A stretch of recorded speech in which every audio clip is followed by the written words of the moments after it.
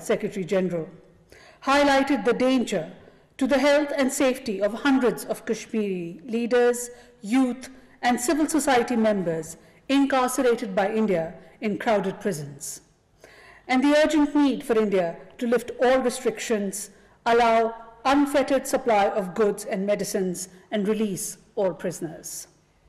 Pakistan strongly condemns and rejects the latest Indian action aimed at illegally changing the demographic structure of the Indian occupied Jammu and Kashmir. The so called Jammu and Kashmir Reorganization Order 2020 is another illegal step by India to settle non Kashmiris in the Indian occupied Jammu and Kashmir by changing the domicile laws. This is a clear violation of international law, including the Fourth Geneva Convention. The Kashmiris in the Indian occupied Jammu and Kashmir have outrightly rejected the new law as unacceptable. It is indeed the expression of the fundamental rights and an attempt to change the demography and their identity. Pakistan has consistently sensitized the international community about the BJP government's design for demographic change in Indian occupied Jammu and Kashmir in order to perpetuate India's illegal occupation of the disputed territory against the wishes and aspirations of the Kashmiri people. The United Nations and the international community must take immediate cognizance of this illegal Indian action and prevent India from changing the demography of the occupied territory and hold it accountable for the persistent violation of international law. In recent days, the Prime Minister Imran Khan has called for debt relief for developing countries to enable them to direct resources to saving precious human lives and shoring up economies against the economic impact of the COVID 19 pandemic. Foreign Minister Qureshi also wrote to his European counterparts and the EU High Representative for Foreign Affairs and Security Policy, underscoring the need to relieve the debt burden of developing countries and enable them to stem the economic decline. In recent days, the foreign minister exchanged views on the prime minister's initiative with his counterparts from Canada, Spain, France, Italy, the UK, Saudi Arabia, Qatar, Nepal, Maldives, Bangladesh, Sri Lanka, Bhutan, as well as spoke to the Secretary General of OIC and the EU High Representative for Foreign Affairs and Security Policy. The initiative has resonated globally. The EU Foreign Affairs Ministers' video conference of 23rd March discussed how to step up international cooperation and solidarity in order to support the most fragile countries. The IMF and the World Bank issued a joint statement on 25th March 2020 concerning debt relief. The virtual G20 summit, hosted by Saudi Arabia on 26th March, reaffirmed the G20's commitment to address debt vulnerabilities. The UN Secretary General has also called for maximum financial and technical support for the most vulnerable people and countries. Pakistan welcomes these endorsements as steps in the right direction and hopes that they would culminate in concrete steps at the earliest possible. In the wake of the COVID 19 outbreak, and as part of the national effort under the leadership of the Prime Minister and the direction of the Foreign Minister, the Ministry of Foreign Affairs and its missions abroad have reached out to our overseas communities, providing them with relief and assistance wherever required.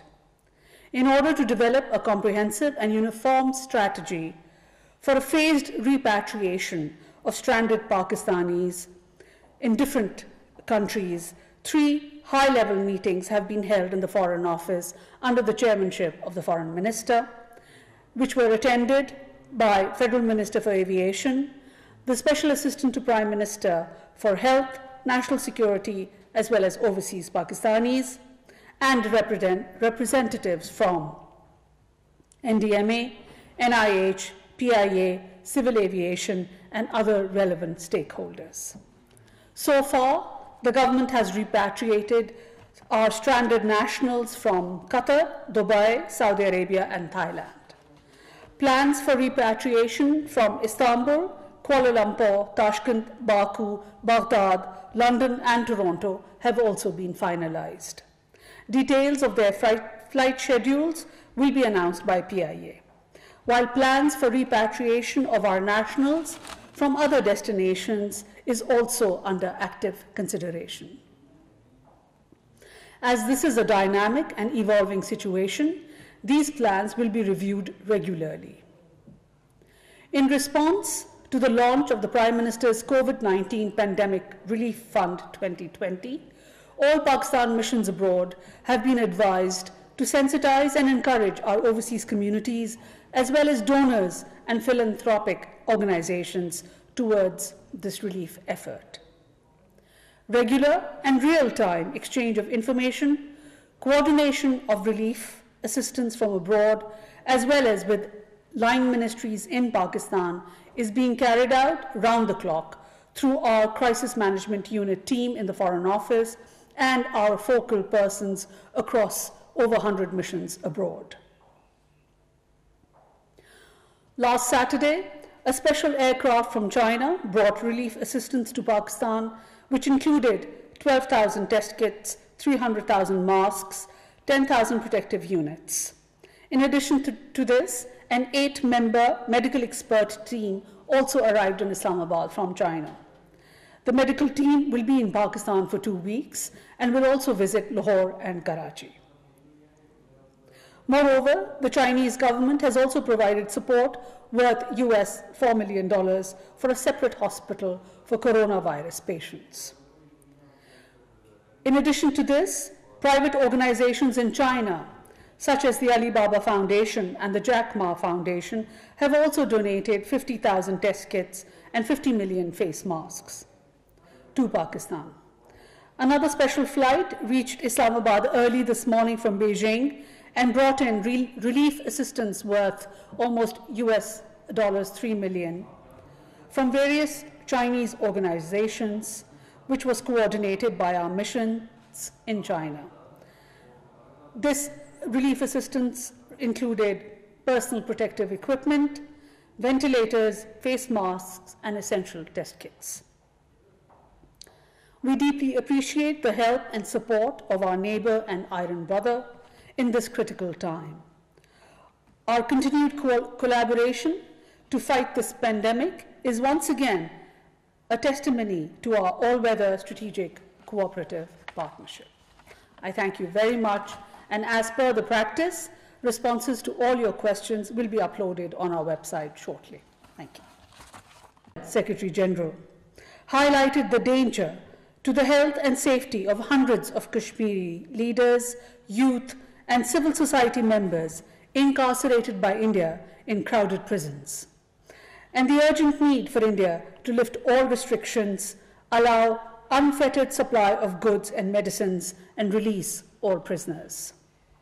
Pakistan strongly condemns and rejects the latest Indian action aimed at illegally changing the demographic structure of the Indian occupied Jammu and Kashmir. The so called Jammu and Kashmir Reorganization Order 2020 is another illegal step by India to settle non-Kashmiris in the Indian occupied Jammu and Kashmir by changing the domicile laws. This is a clear violation of international law, including the Fourth Geneva Convention. The Kashmiris in the Indian occupied Jammu and Kashmir have outrightly rejected the new law as unacceptable. It is indeed the version of the fundamental rights and an attempt to change the demography and their identity. Pakistan has consistently sensitized the international community about the BJP government's design for demographic change in Indian occupied Jammu and Kashmir in order to perpetuate India's illegal occupation of the disputed territory against the wishes and aspirations of the Kashmiri people.